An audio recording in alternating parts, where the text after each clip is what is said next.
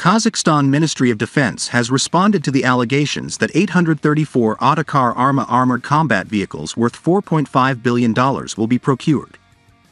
In the past days, Kazakh media Orda claimed that Kazakhstan signed an agreement for the supply of 834 Arma armored combat vehicles worth $4.5 billion. The Ministry of Defense of Kazakhstan denied the news that the Orda based on a Kazakh defense industry sector professional. In the statement made by the ministry, the information circulating on social networks that an agreement was signed between the Ministry of Defense of the Republic of Kazakhstan and the Turkish company Otokar for the purchase of armored vehicles worth approximately 2 trillion tenge does not correspond to reality.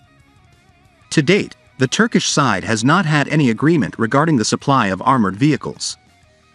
Otokar is only one of the armored vehicle manufacturers whose samples are evaluated on a general basis in accordance with the procedure specified in the acceptance rules for service.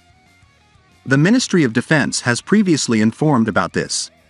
At the same time, other foreign vehicle samples are also evaluated.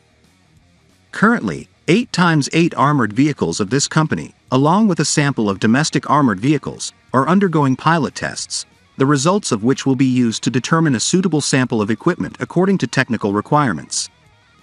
We remind you that the Ministry of Defense, within its jurisdiction, is responsible for the country's defense capability.